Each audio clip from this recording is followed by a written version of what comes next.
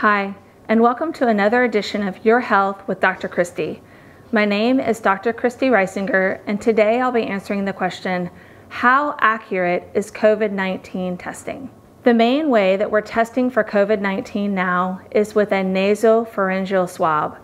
That means a six inch swab is placed up the nose to the very far back of the nose and twirled around for 14 seconds. And then the other side is also done. It's then sent for RT PCR. This stands for reverse transcriptase polymerase chain reaction. And that test looks for tiny bits of the virus and then sends an indicator that shows that the test is positive. Most tests currently are taking a few days, but manufacturers are quickly developing a point of care test that gives results in less than an hour. The test is highly specific, meaning that if you're positive, you're most likely positive. However, the tests we found have not been very sensitive, meaning that if you're negative, it may be falsely negative 10 to 30% of the time.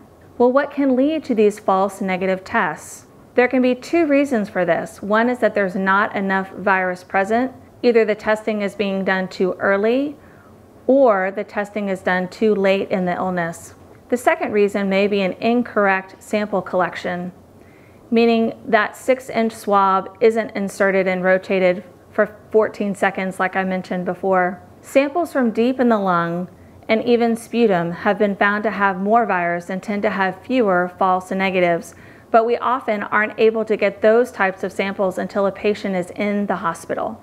I think we can say that if you have symptoms consistent with COVID 19 currently, even if your test is negative, you should assume that you have it and you should self quarantine until you are completely symptom free for a consecutive 72 hours. I do want to compare the COVID 19 test to the influenza tests that a lot of us get every year. The influenza tests are also not perfect.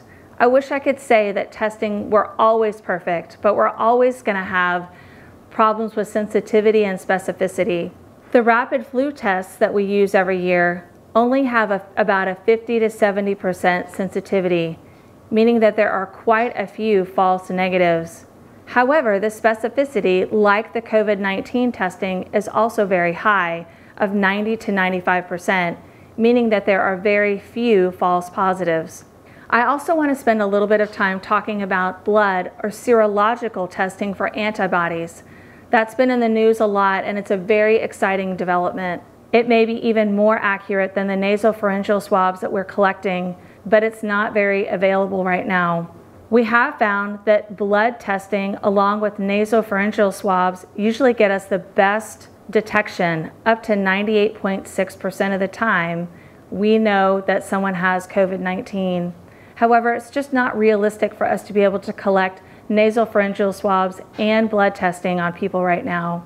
I also think we'll be able to see serological testing soon to check for antibodies to see if you've ever had the virus, and we'll know more about this soon. It's still in the testing phases. Once again, I just want to remind everyone that they need to be washing their hands, social distancing, and staying at home. Thanks again for joining me.